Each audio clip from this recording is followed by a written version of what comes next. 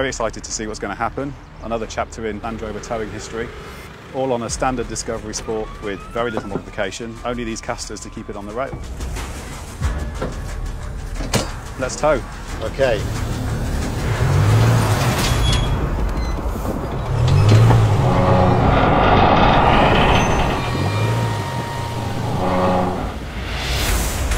Everything's moving now. Yeah, we're away. All the temperatures are normal, small amounts of throttle. Oh, how amazing is this?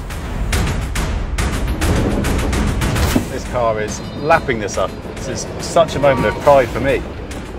1400 RPM, we're at 8 miles an hour. No problem whatsoever. We're just about to come around the corner onto the bridge. I've now engaged all-terrain progress control. I've got feet off, I'm on the rails, and we're still towing.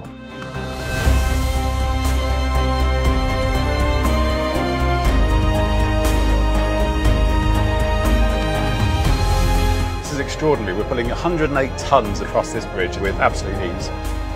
That is remarkable.